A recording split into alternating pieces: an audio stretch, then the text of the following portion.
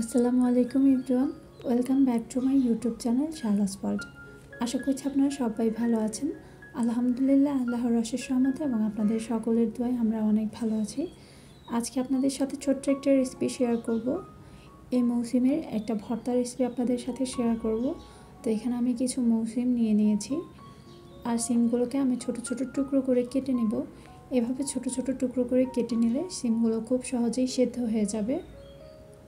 এই মৌসুম দিয়ে আপনারা ভাজি, ভর্তা অথবা তরকারি করেও খেতে পারেন, তবে ভর্তাটা খেতে একটু বেশি ভালো লাগে। তো সবগুলো সিম আমি এভাবে ছোট ছোট করে কেটে নিচ্ছি। কেটে নেওয়ার পর আমি ভালো করে ধুয়ে পরিষ্কার করে নিয়েছি। আর চুলোতে আমি একটা পাত্রে অলরেডি পানি বসিয়ে দিয়েছিলাম গরম হওয়ার জন্য। পানিটা গরম হয়ে গেলে এখানে আমি কেটে রাখা সিমগুলো দিয়ে দিচ্ছি। দিয়ে একটা ঢাকনা দিয়ে ঢেকে দেবো, সেদ্ধ হয়ে যাও রাত পর্যন্ত। তো এই যে সিমটা ভালো করে সেদ্ধ হয়েছে কিনা সেটা দেখার জন্য আমি একটা টুথপিক দিয়ে চেক করে নিচ্ছি।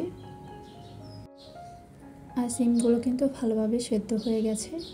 এখন যে অল্প একটু পানি লেগে আছে সেই পানিটা ভালো করে শুকিয়ে নিয়ে তারপর আমি সিমগুলো তুলে নেব। সিমগুলো আমি একটা বাটিতে তুলে নিচ্ছি।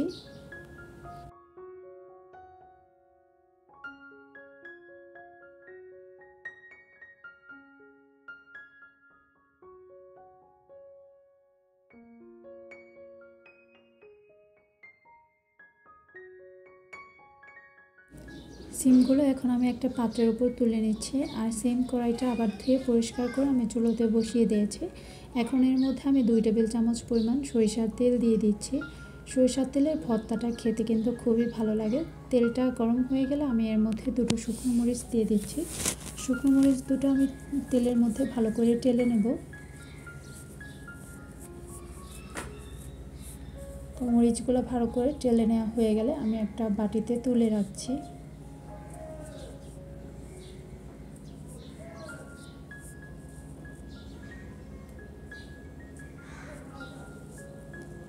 এখন এই তেলে আমি দিয়ে দিচ্ছি প্রায় চারটার মতো পেঁয়াজ কুচি। আর দিয়ে দিচ্ছি তিন চারটার মতো রসুন। আমি পেঁয়াজ আর রসুনটাকে একটু ছোট ছোট করে কেটে নিয়েছি। আর দিয়ে দিচ্ছি প্রায় চার পাঁচটার মতো কাঁচামরিচ। কাঁচামরিচগুলোকে আমি মাঝখান দিয়ে কেটে নিয়েছি। এতে করে তেলের মধ্যে যখন কাঁচামরিচগুলো ভেজে নেব তখন কাঁচামরিচগুলো ফেটে উঠবে না। তো আমি একটু ভালো করে ভেজে নেব তেলের সাথে এই রসুন, পেঁয়াজ এবং মরিচগুলোকে। ভেজে নেওয়া হয়ে গেলে আমি এখন একটা বাটিতে তুলে নিচ্ছি।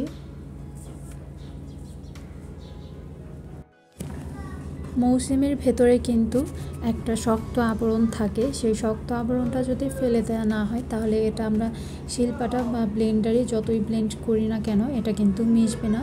তো এইভাবে মাঝখান দিয়ে ফিরে এই শক্ত আবরণটা কিন্তু অবশ্যই ফেলে দিতে হবে। আর সাইডেও যে শক্ত আবরণগুলো থাকে, সেগুলোও কিন্তু ফেলে দিতে হবে।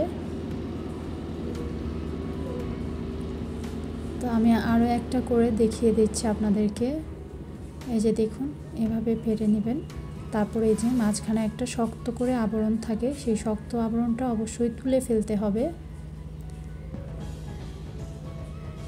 নাহলে কিন্তু ভর্তাটা মিহি হবে না। আর এই শক্ত আবরণটা কিন্তু আপনারা শিলপাটায় বেটে মেশাতে পারবেন না।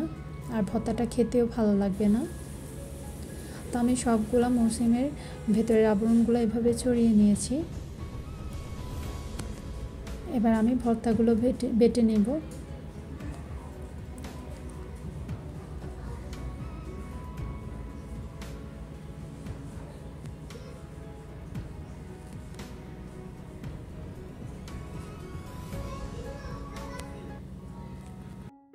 ভর্তাটা হয়ে গেছে। এখন আমি পরিমাণ মতো লবণ দিয়ে ভালো করে হাতের সাহায্যে মিশিয়ে তারপর একটা সার্ভিং ডিশে আপনাদেরকে সার্ভ করে দেখাচ্ছি।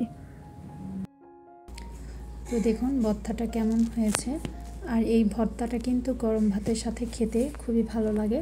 আশা করি আজকে এই ছোট্ট মৌসুম ভত্তার রেসিপিটা আপনাদের কাছে খুব ভালো লেগেছে। ভালো লাগলে অবশ্যই লাইক কমেন্ট শেয়ার এবং সাবস্ক্রাইব করে আমার চ্যানেলের পাশে থাকবেন। সবাই ভালো থাকবেন। আল্লাহ হাফিজ।